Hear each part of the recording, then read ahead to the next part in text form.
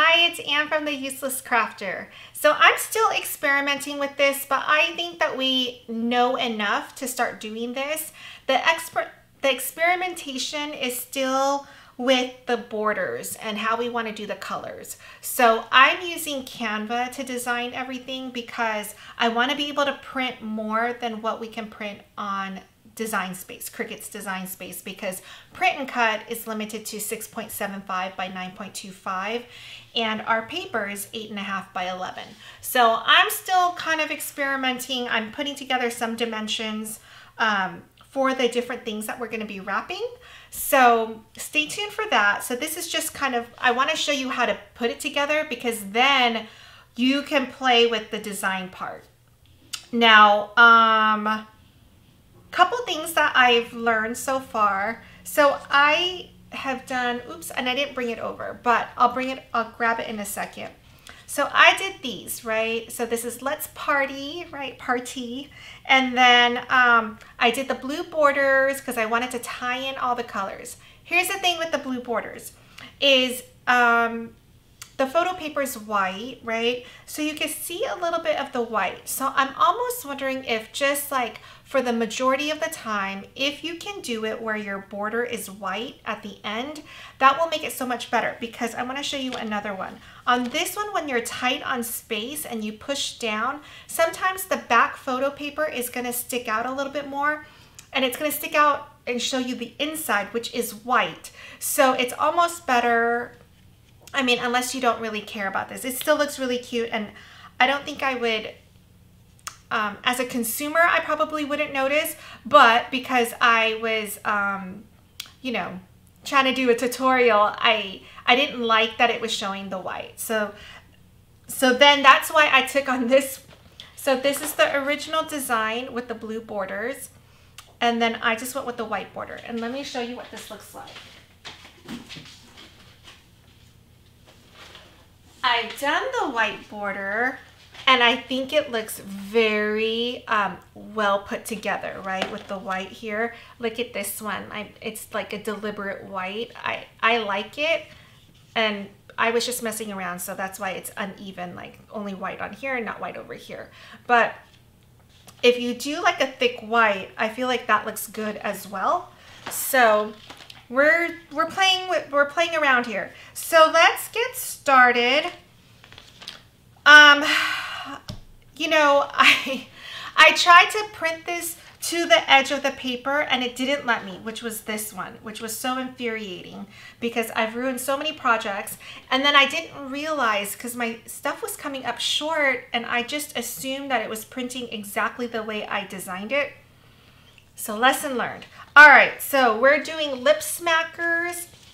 The other thing that I've learned with doing the potato chip bags is things that are flatter are gonna be so much easier to execute. So this chip bag, I mean, I think the chip bag is fine, but you can see it has like indents, right? And you can't, once it makes this little fold or whatever you wanna call it, you can't really undo it because what happens is when you undo it, where it has the bend, the color disappeared from there. So it's gonna show white. So to me, there's no point in even trying to pop this out because then you're gonna have a, a white crease in it. So if you imagine like 10 of these lined up, it's just gonna look really cute. No one's gonna notice that this bag is not as straight as it can be. But that's what happens is when, when you have things that aren't as flat, it's gonna pop up like that, as opposed to like a flat chocolate bar, right? These are super easy. This in here is a gummy, a lifesaver gummy. This is also a lifesaver gummy. I just ran out of paper and tried to make the best of it, but you can see it lays really flat. So it's easier to put together. So that's why I've stuck. I, I went shopping. My daughter is gonna love me or love you guys for this. Um, she's gonna get Ghirardelli squares, Hershey bar, Crunch, and Kit Kat. So to me, I feel like that gives us enough options. It is all chocolate and I'm not a chocolate person, but then you can go with like individually wrapped gummies or something like that. Okay. And then the lip smackers is technically just a rectangle, right? Unfolded. So that should be easy to put together. I've yet to put together a chapstick because I had been coming up short with all my designs the way it was printing. So we're gonna do everything together today. The Some MVPs of this project. Um, this photo paper is really, really nice. It prints out the colors exactly the way you had it in mind. So I really like it. It's glossy. Um, it just looks really good. And you can see on this one, I know it's kind of hard to see, but the colors in person, it's so pretty. It looks really professional. So there's that. The other one is Bearly Art Glue. This, I mean, I'm not a glue person, but you use this glue, it comes out in the precision tip, and it's gonna come out just enough glue that you need. It doesn't get on your hands. It doesn't extend past the chip bag or whatever we're wrapping up and it dries really quickly. So it is, it is really, truly perfect for this project. So I'm gonna put that aside. This is my little crimper. It's Marvy Uchida. It's on Amazon. It's on my Amazon shop. You put it in and it gives you this little crimp line at the top. It, I mean, I feel like it really makes the whole thing look good. All right, and last but not least, I have found a new blade that I like to use. So before I was using the Cricut brand and I, you know, I, I like my gadgets. Um, but this blade, it's from Excel, um, Excel blades and the blade is amazing. I had to use it for a mandala, mandala project and it was 17 layers and it didn't, two of my layers didn't cut well. And so I use this and now it is part of my supplies. okay, so let's do this. Um, I'm just gonna cut with a ruler. So I'm gonna line up my, I, I always work on a self-healing mat, so I like that. Um, I'm not gonna give this that much room, so it's gonna be a little bit uneven, but we're gonna cut it like this.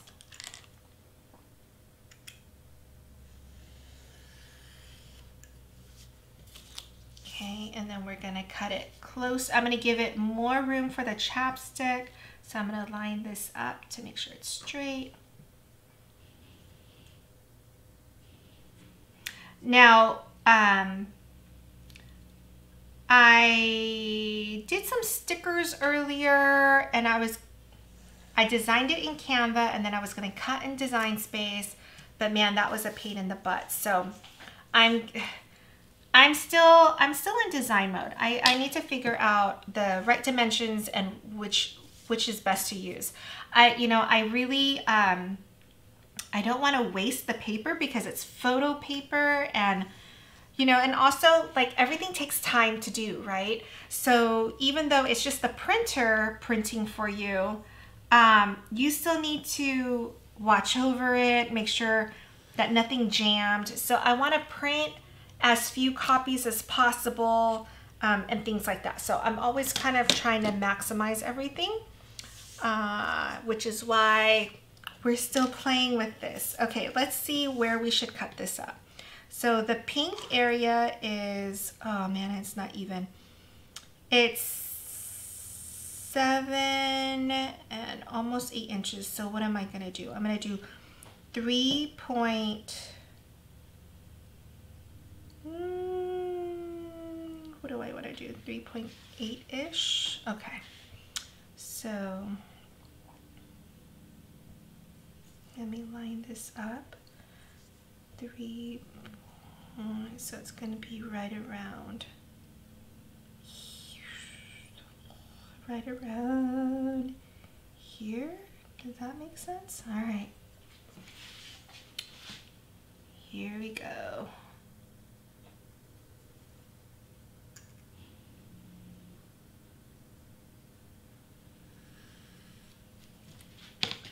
All right. So let's do this one first and let's see. So on this one, we can get really closer to the pink.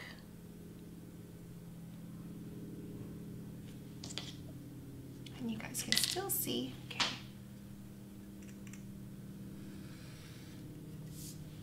Now, for the chapstick, I was thinking I would use the needle Labels stickers, but then unless you're doing a lot, because then I didn't want to waste the paper, right? And then I was looking at my design in Canva and there's not that much space left, so I might as well just use, use it for the chopstick. All right, that's kind of where I am. All right, with this one, this is the stopper that you put in overnight. So I'm just gonna take it out. I'm gonna put in this one. Look how you just screw it on. Super easy to use. Okay, here's our first one.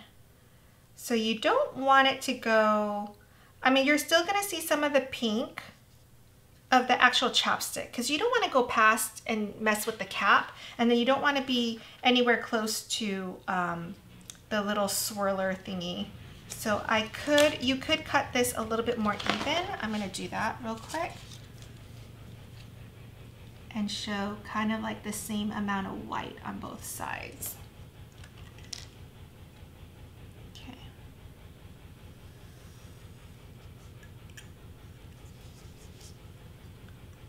All right.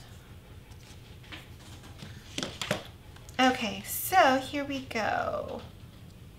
We're gonna roll it. Yes, finally. All right, I'm gonna do this side first. I'm just gonna put a ton of glue on here.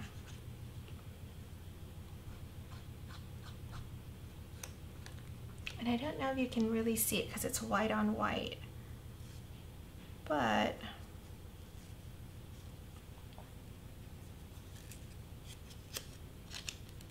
it got uneven. Okay. And just hold it down while it's while it's drying.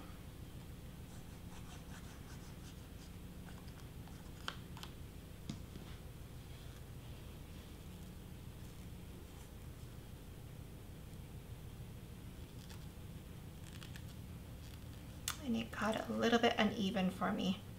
I wasn't paying attention, but it's super, I mean, look at that. It's so cute. All right, so I'm just gonna hold it for a couple seconds.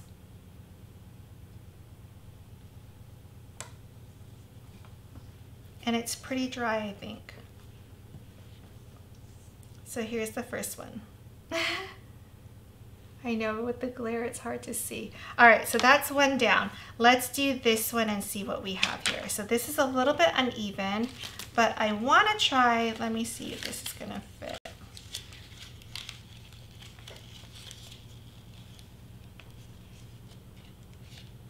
Okay, so it's okay that this is uneven because this is where we're gonna glue. But this side, I'm gonna trim down just a little bit to match this side. So I'm gonna cut off about this much.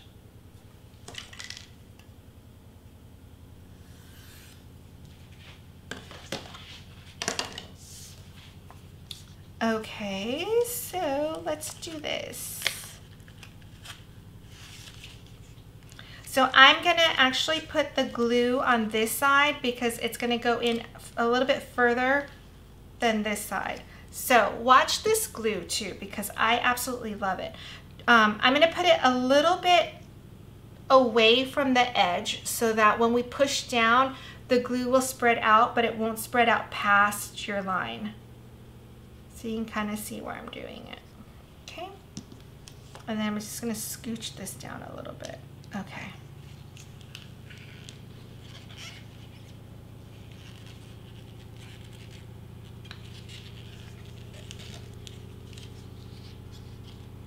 So I tried to keep it even with the white line. That looks really, really good.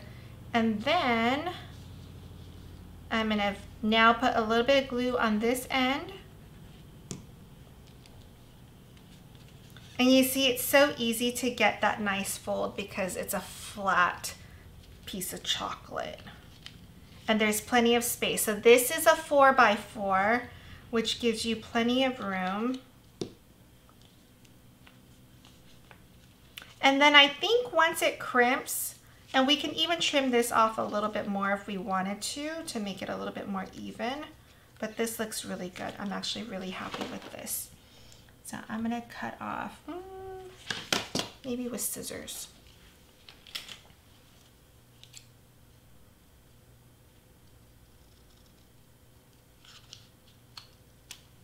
Okay, so now my crimper, which is my favorite.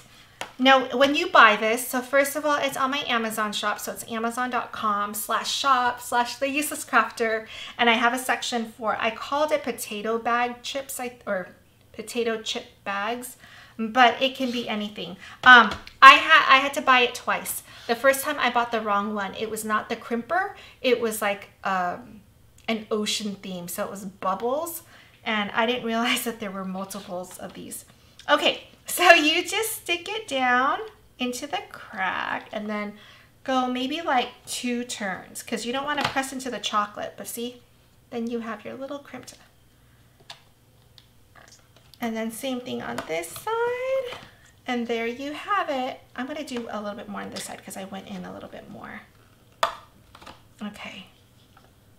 That looks really, really good to me. I know it's hard to see with the gloss. Okay, so that's down. Let's look at our Hershey bar. So here's our Hershey bar. This one I'm gonna probably wanna trim down on that white. This, it doesn't matter, right? Because this is where we're gonna just fold in like that. But I wanna feel to see how close we can get to that.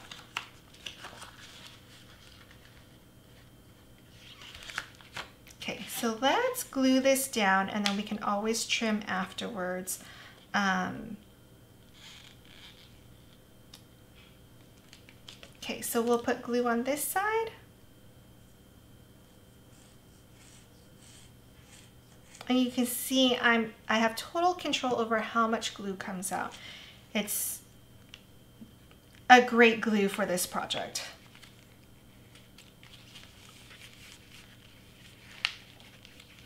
And you just have to hold for a few seconds while it's drying and then you're good. And then I think what I'm gonna wanna do is let's glue down this side first. We'll push everything down and see how much space we have on this side.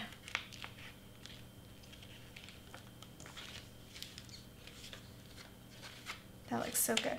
Okay.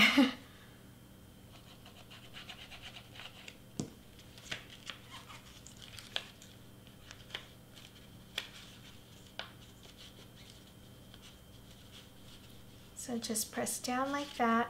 Then push your Hershey bar down. We'll glue this side.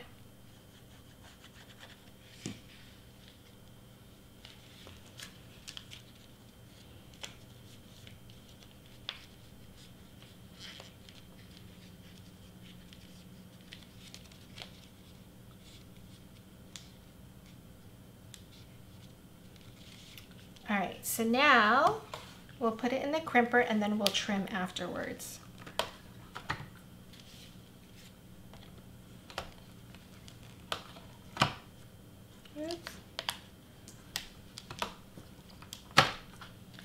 And I don't know if you saw that, but I went back into the crimper because I went in and it was not straight. So it was a little crooked, but then I redid it and it's fine.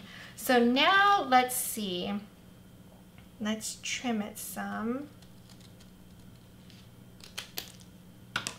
Okay, so I trimmed it there, which means it opened a little bit. So I'm going to put some more glue down.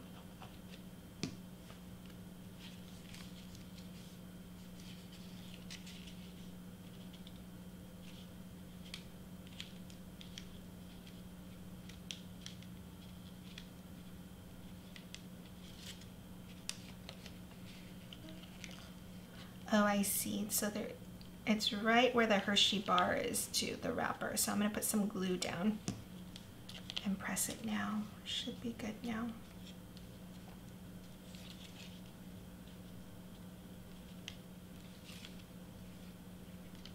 All right, so we're good with that. That looks really cute. Okay, so I think we're good. I'm gonna re-crank out those numbers and see how they print out. Um, but the thing with these um, bars and everything when you're wrapping because it's photo paper sort of like what I was saying with you know we we want to be flatter rather than round like I tried to do the Rice Krispie treats and it would have been fine if I gave it more room but then it felt like I was wasting so much paper to wrap that thing so it's totally up to you but give yourself lots of space because that will allow you to um, to go out further where it's more flat to glue it down and everything will just look better that way. So, um, I mean, I've said it before, this is not the project where you want to be um, on the cheap side. it's so frivolous already, right? Let's not try to be super efficient with our paper. All right, let me know what you think. I will see you next time. Or if you want to see other snacks, let me know as well. Okay.